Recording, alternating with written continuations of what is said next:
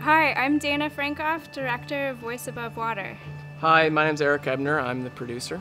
And I'm Romain Cailliez. I'm the director of photography.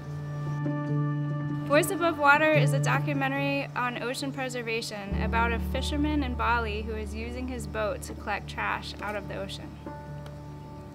My biggest surprise during filming was probably just how impressed I was with Wayan. Um, I figured since he was getting towards the end of his life, maybe he'd be slower, maybe he'd be more apathetic towards life or pollution, and he really wasn't. He was, you know, sharp as a tack, really fit, like funny, just like happy to be alive, it seemed like. And so it was just, it was awesome working with him and like being able to communicate with him in the very basic way that I was. My biggest surprise about uh, this uh, this project when uh, decided to all, all, of a sudden decided to play this little instrument, the, the flute, uh, while we were shooting something else. So it was literally uh, like he, he, wouldn't let us shoot something else than him. like that's how we felt. Yeah.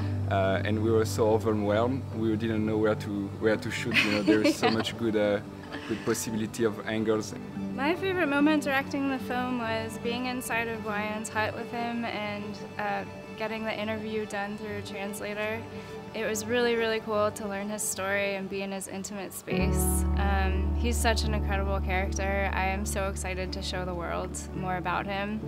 Um, the more he had to say, the more personality that came out, and I feel like we all got really close and shared that moment with him.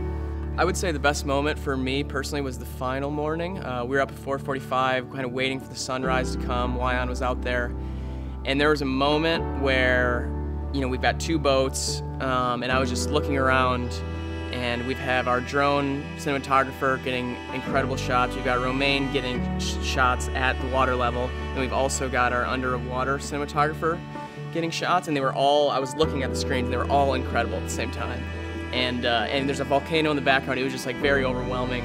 I'm getting goosebumps thinking about it right now, but uh, it was kind of one of those pinch me moments, um, and it was just cool to work with, you know, so many professionals that were just on point at the exact same time um, in the shoot. It was it was crazy, and that was probably my favorite moment.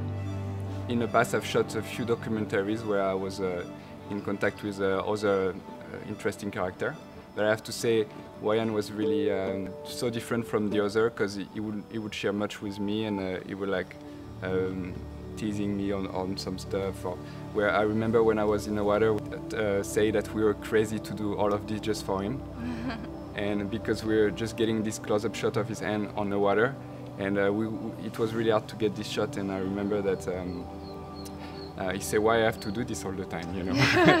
so so that was really interesting, and he said, "Oh, you guys are crazy," and uh, and uh, I really I can't wait to to go back there and show him the movie we're doing. Mm-hmm. The first time we met Wayan, he immediately came and started pulling trash out of the boat and putting it into his trash pile where he collects trash. It was like he immediately got into character um, and was excited to show us who he really was. He didn't even say hi, did he? He just went right to the trash. Yeah, yeah he went yeah. right to work. It was yeah. funny and He's cool. Motivated. He was really focused on uh, on this, and I remember every time we were shooting, he was just doing. We were telling him to do this action, like go from the beach to the hut. He would just say it over and over without us to tell him to stop. Yeah. Like he was so in uh, in the in the role. So the goal of Voice Above Water is really to bring awareness to all the plastic that is collecting in the ocean. Um, mostly it's to show that we all need to do our part and not just sit and wait for others to do it. Um, it's a problem that's happening around the world. Wayan is just an example of somebody using his resources like all of us could. So I hope that it affects people on a personal level, it motivates people to make a difference. Um, it's a small example on a large scale of what we all need to participate to protect our oceans. What I hope the audience takes from this film is, um, I guess, the idea of personal responsibility and accountability for you know our environment our oceans.